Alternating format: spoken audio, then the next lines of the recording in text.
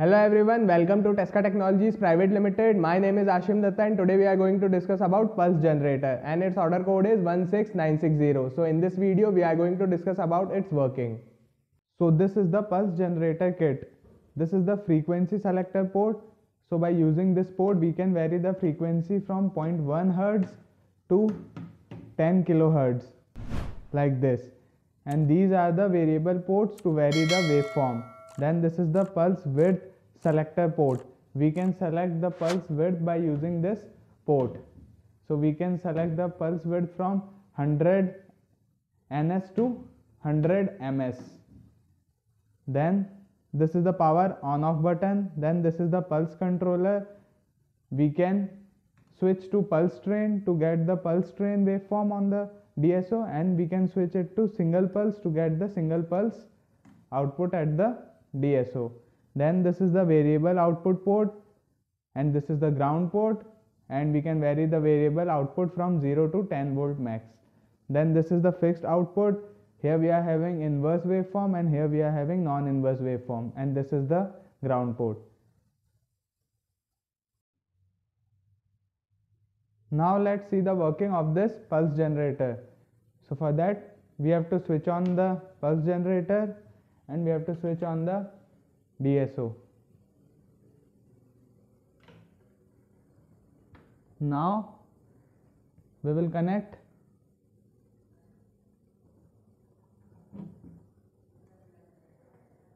the probes to the variable output like this and now we will select a frequency range uh, let's suppose we are selecting 10 hertz.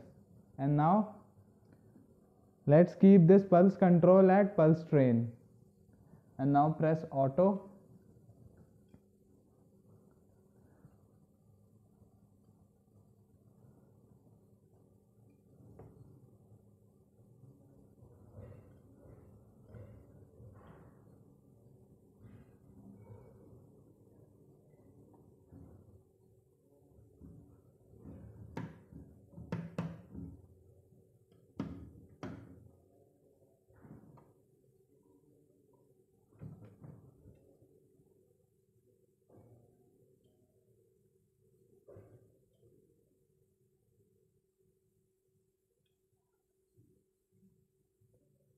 So here on the DSO you can see that we are having the pulse train.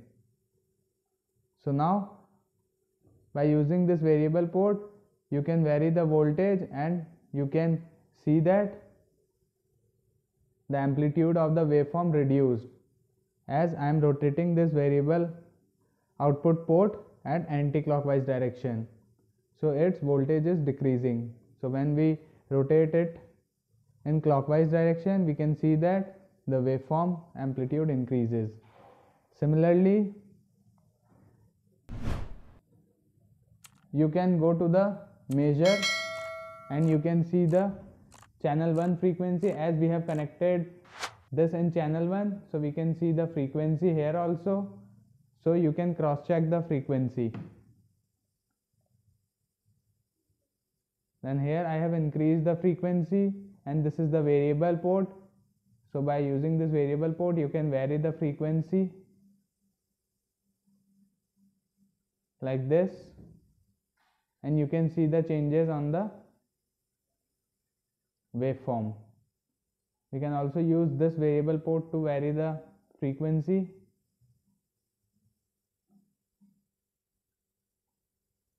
Like this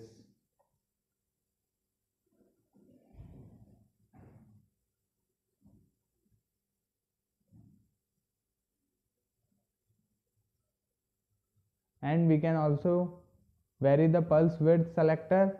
So here I have kept it at 100 ms now let's keep it at 1 ms so you can see the changes on the DSO so its width get reduced. Now when we keep it at 10 ms we can see that the width get increased. And when we keep it at 100 ms that is the maximum width we can see the changes on the DSO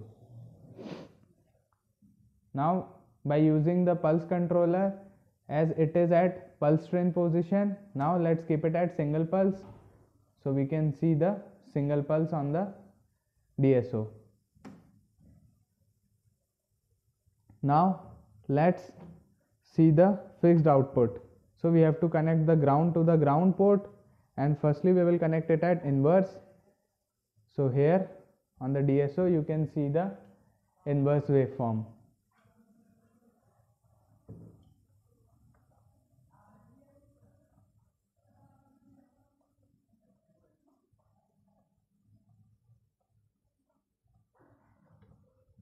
and when we connect it at non-inverse we can see the waveform like this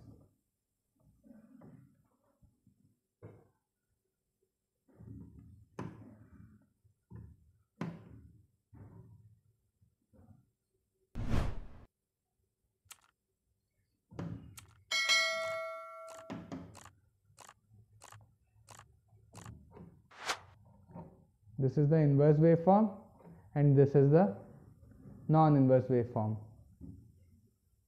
So that is how we can see the waveforms on the DSO and we can use this pulse generator so that's all the demonstration from my side. If you have any query related to this kit, you can contact at Tesca Global website. You can find the link in the description. For more information, go through the manual. Thank you for watching this video. If you like this video, like, share and subscribe to our channel.